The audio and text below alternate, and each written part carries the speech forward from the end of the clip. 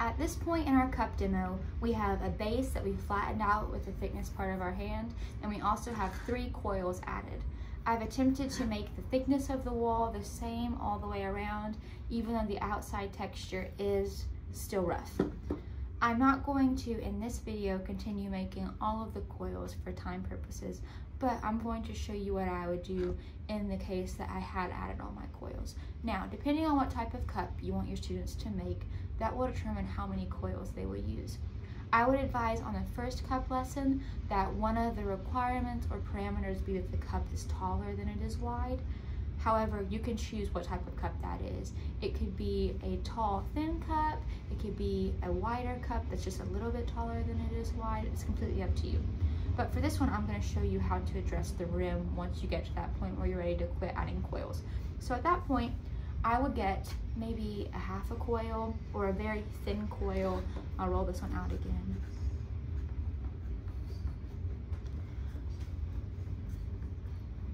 I was advised when making a cup to always add a very thin coil to the inside rim of your cup. Once it fires, it'll become very light and you don't want the rim of your cup to be so thin that when it hits other clay pieces or it exists in real life in your cupboard that it would chip.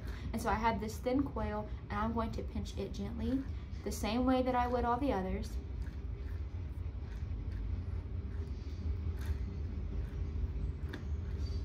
Until it's incorporated in the clay, I would begin smoothing it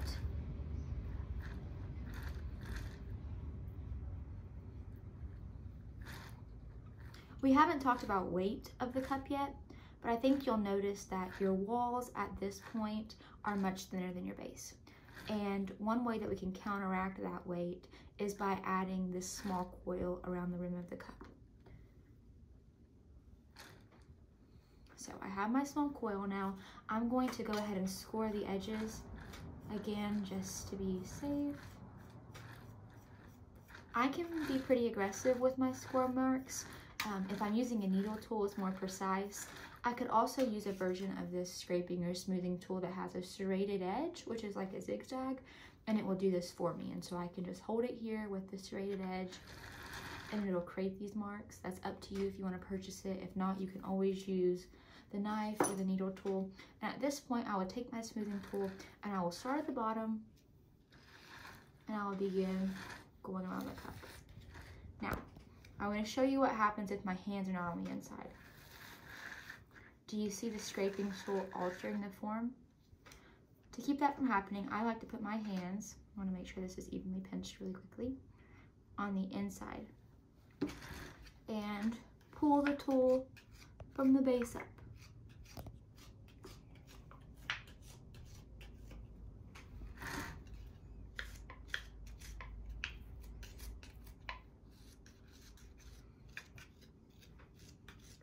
On the first time that you go around and use your scraping tool, it doesn't matter the direction that you choose. You can go and experiment. Is it easier to do it one way versus the next? Is one position of the scraping tool more precise than the other? I find that when I want to get rid of really deep marks, I'll use the side of it.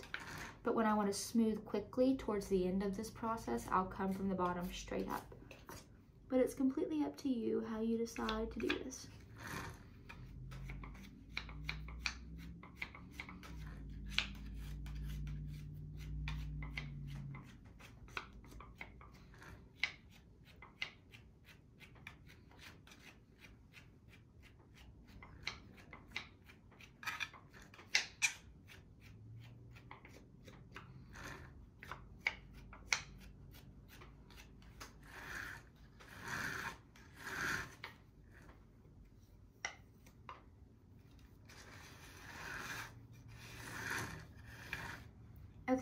What we have now is probably the first smoothing session complete.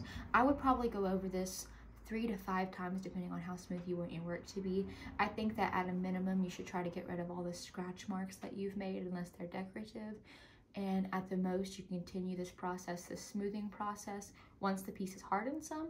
When the piece is leather hard, this will give a very nice finish. You could also use a silicone version of these. That would make it very smooth. And so right now I'm going to leave my sides, because this is just for demonstration purposes, a little rough. And I'm going to address the rim of my cup. That'll probably be the last thing that you all would do. Typically, the rim is what I try to touch last. I don't want to pinch it too much because if it gets really thin in some areas, that's the first thing you're going to notice when you pick it up and touch it towards your lips. The rim might be the most intimate part of your cup because it is what first touches your mouth. And so we want to be very careful with our rim. Typically, you're just going to, while it is in this wet clay stage, form it into the general shape and smooth it to where there isn't a line going around. And so I might smooth mine first, ensuring as I go that it's about the same thickness all the way around. And at this wet clay stage point, I would also perhaps come in and do the final bit of pinching. So you know that we when we added this together, we did our typical pinching movement, but I wanna show you that when this cup touches your mouth, you want it to mirror the shape of your mouth. And so if you hold your finger and your thumb together, you can see that it makes almost a lip shape. That's going to be foundational in forming your rim. And so I'll take, instead of both sets of hands, just my finger and my thumb and go around and pinch the clay that way. You'll notice how the inside of the cup now has a slant, like a diagonal line.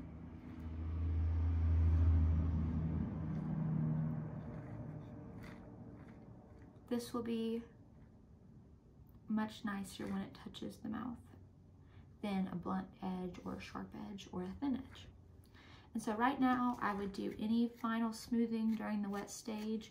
Again, I may have addressed this side and all of the sides probably two to three more times with my hand on the inside to avoid any changing in the form before I move to the trimming segment.